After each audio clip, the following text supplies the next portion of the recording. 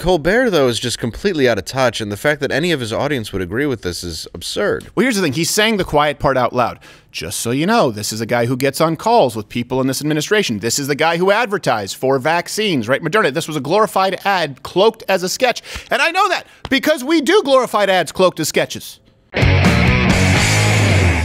Dave, Dave Landau, how are you? Ahoy! Good. How about you? Well, I'm okay, but we're going to uh, get into Stephen Colbert here. Oh, cool. And I know you're not a fan. no, huge fan. Oh. I, I saw him read a, a poetry at Carnegie Hall against Trump. It was great. Yes. Hmm. Slam I- poetry or It was the worst thing I've ever seen, Gerald. You ever been to an open mic night and see someone go up and do slam poetry? uh now imagine I leave. It's sort of the burlesque dancer of the comedy world. Like the burlesque dancers are strippers who couldn't make the cut. Yeah. Slam poets are comedians who couldn't make the cut. Yes, it was. I went to see Nathaniel Rateliff and uh, Jason Isbell, lead singer and the lead singer of the Black Crowes, and out came Stephen Colbert to do a a poem called "The Mockingbird." Oh, uh, I don't know if you can see uh, Dave there. You can pick up the names you dropped. So No, I, I didn't meet them. Oh, I paid a ticket to see them. was it a leered at them? Uh, but if I did have that, I wouldn't drop them all the time. I'd be like, "Hey guys, you know who I've met?" but uh, yeah, he came out and sang a song, or sang, did a poem called "The Mockingbird" about Trump. Oh yeah. and it was even it was for, t- for uh, a thing to free Tibet or whatever crap. I'm not sure where Tibet stands, but something about Tibet. And uh, Afterward, they immediately banned him. every liberal in Carnegie Hall was like, "Oh." Like everyone was uncomfortable with what he did. I agree with what he said, but ah, that was terrible presentation. No, it wasn't. I didn't agree with anything. It's no, a- them. he the wrote liberals. a poem. The liberals. A few people are like, I should have gone to the deli. That's right. You went to the hall. I think Joy Reid should get into wrestling now that we know she can take a fall, yes. but only male wrestling. yeah. Well, it's a gender bender with wrestling. We don't know anymore. Yeah, Okay. we don't know. So this is something that Stephen Colbert said either yesterday or the day before, depending on when you're watching this, uh, or depending on my timeline. I believe it was the night before last. yeah, one of those things. I'm just trying to soften the blow here. It's a psych, it's a psych, psychological term, right? They use it in psych, front loading. Yeah. it's pretty bad.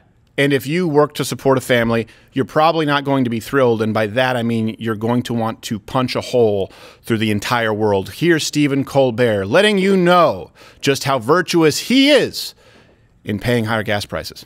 Since the invasion, oil prices have skyrocketed. Today, the average gas price in America hit an all time record high of over $4 per gallon. Okay, that stings, but a clean conscience is worth a buck or two. I'm willing to pay. Applause sign. Yeah. It's important. Right. It's important. I'm willing to pay $4 a gallon. Hell, I'll pay $15 a gallon. Wrong. Because I drive a Tesla. Oh. Now, uh, I mean, the term tone deaf is thrown around quite a bit, but he just said to an audience of largely middle class people who were sitting out in the freezing cold waiting to get into that studio that, uh, oh, I'll pay $15 a gallon because I drive something you can't afford. Right. I'm I make sixteen million dollars a year. Is that what you said earlier? It's fifth, between 15 and 16, which Yeah. just makes me mad. yeah. Don't worry. It's disgusting. But also, they're clapping because there's a sign that tells them to. Because no one on earth agrees with that. Yes, yeah. That's the only sign people respect anymore. I guess that and the no smoking sign on airplanes. Yeah. I wonder what his jet takes. Yeah, exactly. he has a Tesla jet, Dave. Yeah. Oh, that's true. Of course. Yeah, no, he's. I, I'm willing to pay. By the way, how's your Tesla powered? Not only is your, I know he's in, uh, he's in New York. Is it powered with the smell of his own farts? Yeah. I bet he'd love that. Uh, he would, yeah. well, the problem is he wouldn't power his Tesla because he'd just be he'd, he'd use all the fuel. yeah, that's true. He's like, ah, I keep huffing it. it's your own brand. oh, I'm the best. Well, this took a. How are you going to power it? Also, think about this. People don't really. We are. We are light years away from being. A, if everyone switched to Teslas tomorrow, and I think Teslas are cool cars. I like Teslas. They're made here in America. I love Teslas. I did a whole segment with the Hodge twins on Tesla, where I said my mind was changed. I was wrong about Teslas. Okay, I want to be clear about that. But if everyone switched to Teslas or electric cars tomorrow, our power grid couldn't handle it. Well, the owner of Tesla doesn't agree with him. Right. the guy who makes the stuff. Yeah. Yeah. Exactly. You mean the evil oil baron from FernGully, Elon Yes, Musk? Yeah, the terrible man who invented the ele- or not invented, but perfected the electric Perfected car, the electric and car. everybody hated him for it. Yeah, and then of course they chastised him for smoking a joint on uh, Joe Rogan's show. It's like, Yeah. hold on a second, you're pro pot and you're pro electric car, and now you're vilifying this guy. This guy who perfected the electric car had to leave California for Texas. Yeah. Well, I think the problem was he got rich. That's the issue. Is that oh, the he problem? was successful. Ah, now we hate him, even though he does everything we like. I was enjoying a joint with the one guy that everyone smokes a joint with. This Right. is horrible. Yes. I mean, that guy smokes joints like parliaments, Joe Rogan. Like, it's- yeah, why wouldn't he hit a joint? That's the least problematic thing that he puts in his body. Joe Rogan smokes so much weed, Willie Nelson would say, I have to go home now, Joe. That guy hit a joint and was like, you know what? I'm going to space. Yes. That's incredible. By the way, here's a amazing, flamethrowers. Play around with it. yeah. Here. See what happens. Good lord. I, Colbert though is just completely out of touch, and the fact that any of his audience would agree with this is absurd. Well, here's the thing. He's saying the quiet part out loud. Just so you know, this is a guy who gets on calls with people in this administration. This is the guy who advertised for vaccines, right? Moderna. This was a glorified ad cloaked as a sketch. And I know that because we do glorified ads cloaked as sketches.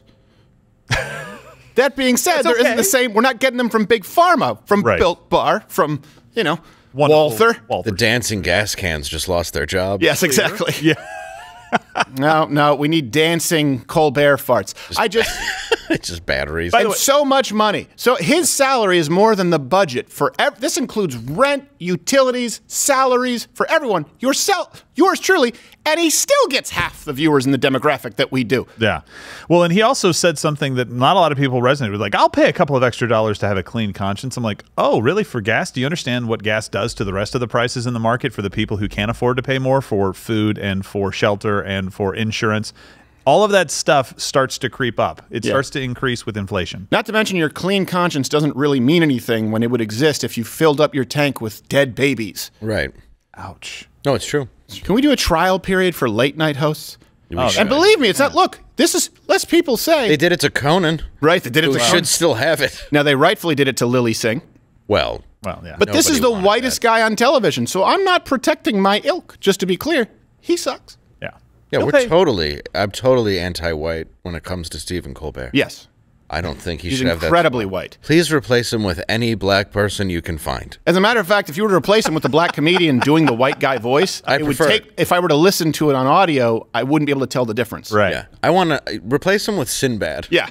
Sinbad doing the white voice. Think about using. I'm fine paying an extra one or two bucks per gallon. What? What would you say? What'd you say? I'd be fine paying 15 because I drive a Tesla. You really just. You haven't had your ass kicked in a long time, have you? I say get Chevy Chase or Bill Cosby. Yes. Yes. One or the other. Yeah. The worst host of late night and just a guy who's not very good. All right. Watch Louder with Crowder live, Monday through Thursday, 10 a.m. Eastern.